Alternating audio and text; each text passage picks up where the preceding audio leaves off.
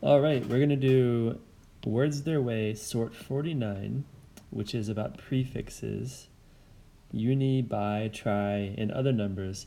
And these prefixes are pretty simple just with the prefixes, but the words are a little bit tricky. So again, um, this is going to go over not the sorts, but the meanings of the words for sort 49 here. So let's have a look at the prefixes and the meanings of the words. So let's just start with the meanings of these prefixes, and it's again very simple. Uni means one, and bi means two, and tri means three. And the most obvious example of this comes from your guide words. So unicycle has one wheel or one cycle. A bicycle has two wheels. A tricycle has three wheels. So again, very simple. Uni, bi, tri, one, two, three. And hopefully you've also figured out quad is going to be four, pent means five, and oct means eight. So let's just quickly break some of these down a little bit further, starting with bi. So bi means two, but the words are going to have a little bit different meanings depending on the root word. Bisect means to cut into two equal parts is to bisect. Bilingual means you can speak two languages.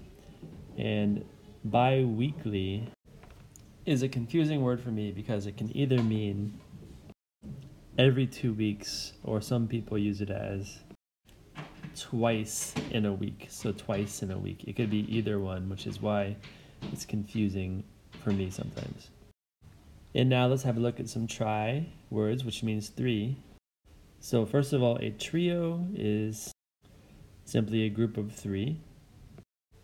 A trilogy is usually three movies or books that go together. For example, uh, there's Toy Story. There's Toy Story 1, Toy Story 2, and Toy Story 3. That is a trilogy of movies.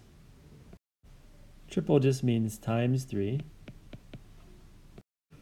For example, if I triple five, I have 15. Or in baseball, if you get hit the ball and run three bases, you just hit a triple. And then finally, tripod. What is a tripod? So a tripod is a three-legged camera stand. You can see one, two, three legs. You put your camera on top of it. That is called a tripod.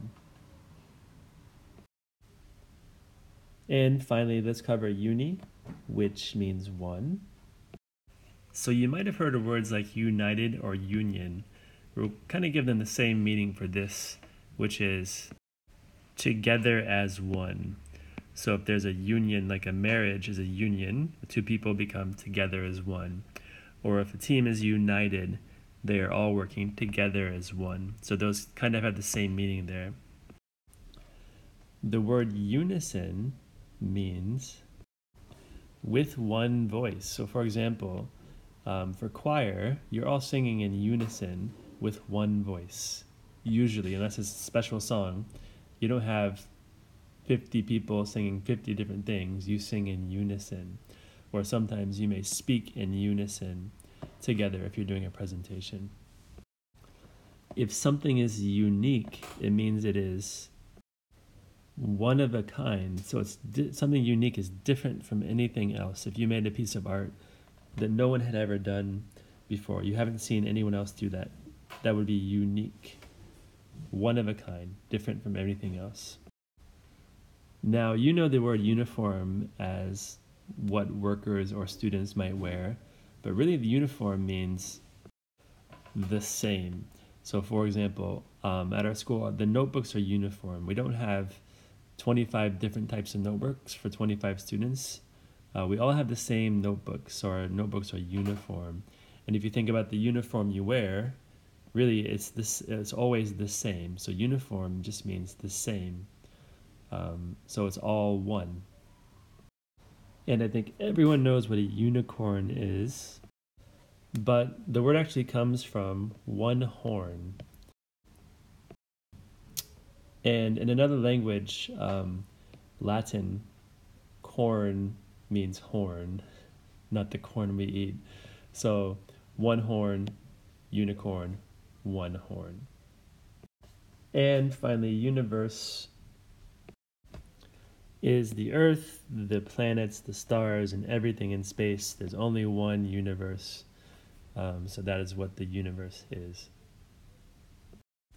So that is it for this week. There's quite a bit going on, even though the prefixes themselves are simple. The words uh, have a lot of different meanings. Let me just add one more quick note for you. And October used to be the eighth month, even though right now it's the tenth month. On the ancient calendar, October was the eighth month, so that's why it's called October, and oct means eight. So that's a little bit of a strange one for this week, um, but that is it for your word study meanings, and thank you for sticking with this long video. Bye.